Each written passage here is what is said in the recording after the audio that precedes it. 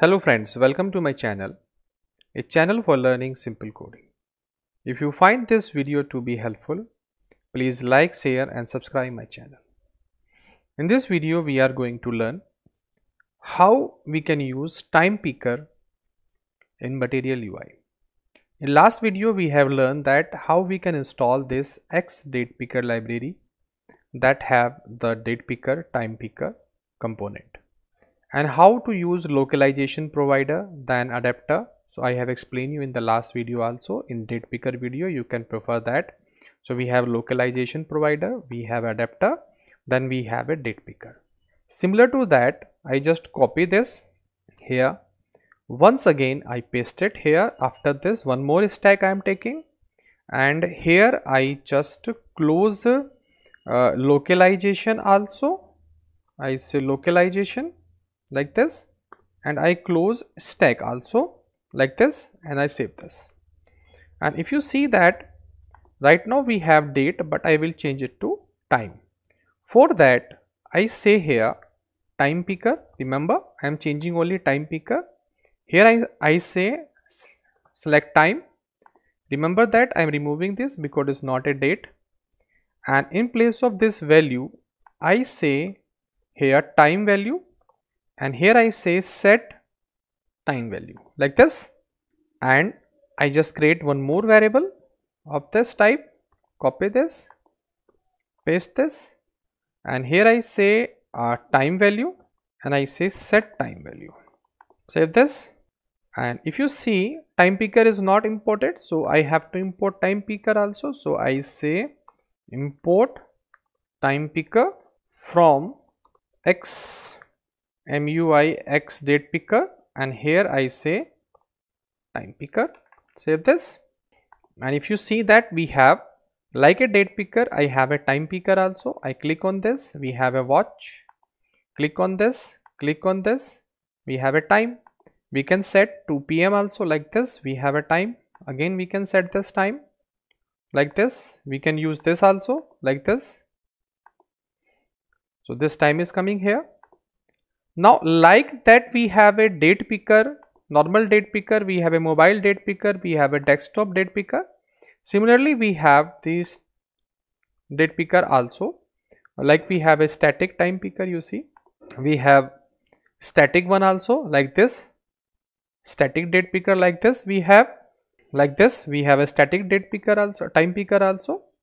Like a date picker we have a static one but we have the modification of these two so I have a mobile and desktop version like this or I have a static one also like this. So what you want to use you can prefer yourself.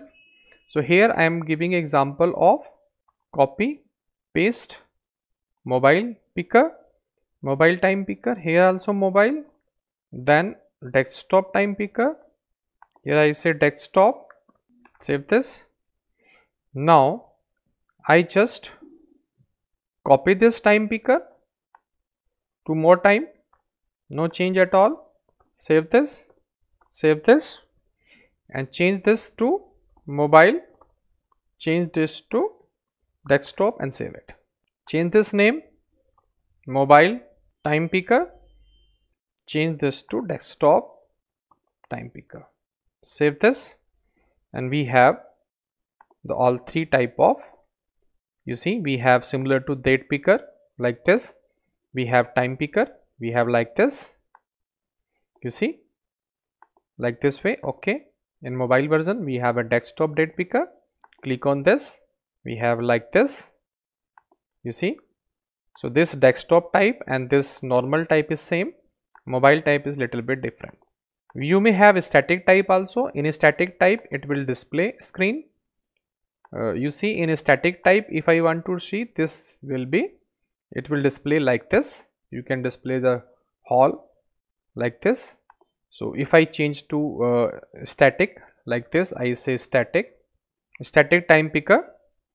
And I change it to static. Here also save this. And you see we have such kind of static also.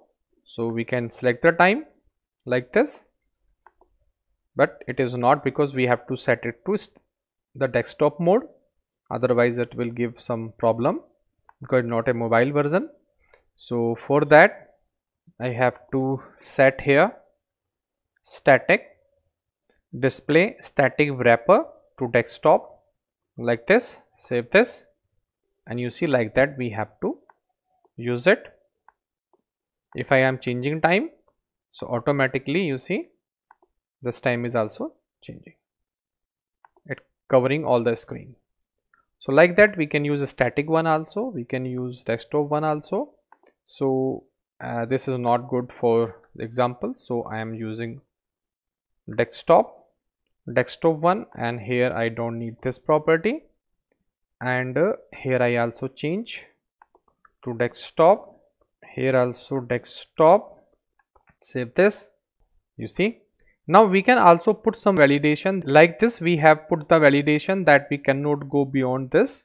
You see we can't go before this uh, 2022 so like this we can set time also. So how we, I can set these restrictions? So I say here like on desktop version I say here uh, we have a min time min time and I say uh, in min time I say day js and here I need to pass the time. So first of all I have to give the date. So I say 22 uh, then I say 0 feb. Maybe any date we can give. And here I pass t. And I say just minimum date is uh, 0 8 10 this time I want minimum should be means time should be more than 8 10 after 22 of Feb 22 so like that we try to do this. Click here. And uh, I try to select the time 8 and uh, uh, that time I want to uh, I set this on desktop mode. So I go to this desktop and you see that 8 to 8 after this. You see we have this means 8 you see 7 is not visible this 6 is not visible 5 4 3 2 1 12 all are just minimum 8 10 time is there you see and then we have this. So by the help of these restrictions we have restrict this. Click here and you see 7 6 5 4 2 1 all are disabled similarly i can set max time also. Suppose i say here that max time is max time is i say 10 10 save this means 8 to 10 i can select a time. So you see that if I click here, so you see 8 to 10 only visible, you see? 8 to 10 only visible, then we have the second. 0 to 10 is disable, all are visible, you see. If I select the time limit eh, like this and I I would not be able to select beyond this you see I am not able to select these value here I'm not able to select 5 to 10 also you see these are disabled. So like that way we can use min function, min time and max time property of these component also. I can apply these property to this also and this also it will run on each and every uh, your component of time picker. So that's all in this video about time picker. If you like it please do subscribe. Thank you for watching this video.